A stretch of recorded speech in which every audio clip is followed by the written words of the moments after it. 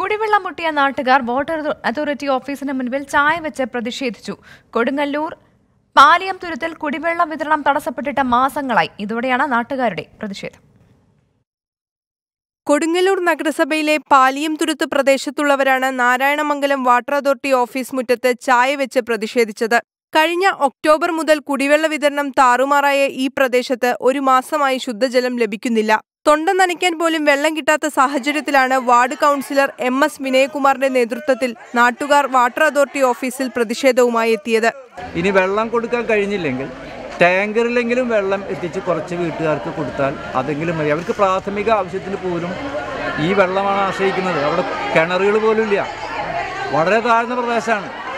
Office മുറ്റത്ത് അടുപ്പുകൂട്ടിയ വീട്ടമ്മമാർ കട്ടൻ ചായ വെച്ച് വിതരണം ചെയ്തു.